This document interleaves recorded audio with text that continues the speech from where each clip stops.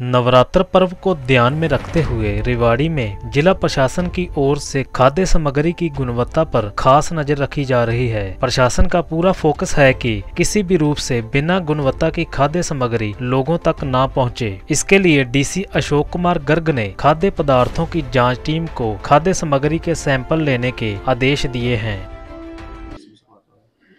तो इसके लिए नवरात्रों के लिए पहले तो मैं पूरे ज़िले के लोगों को बधाई देता हूँ।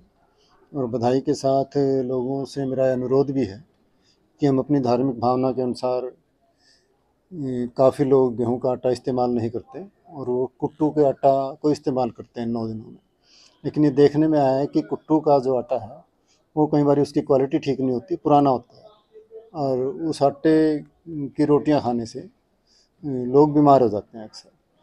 तो लोगों से मेरा अनुरोध है कि कुट्टू का आटा खरीदते वक्त उसकी क्वालिटी का विशेष ध्यान रखें। वो पुराना आटा ना हो उसमें मिलावट ना हो। इसके साथ ही संबंधित अधिकारियों को भी निर्देश दिए गए हैं कि वह बाज़ार में इसकी गुणवत्ता का ध्यान रखें और इसके सैम्पलिंग करें।